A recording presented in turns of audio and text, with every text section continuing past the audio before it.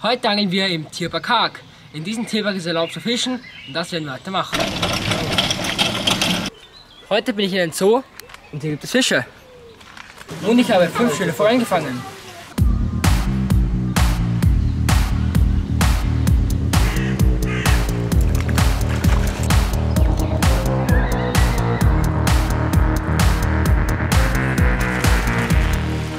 Und das Video dazu seht ihr auf unserem Angelurlaub-Kanal.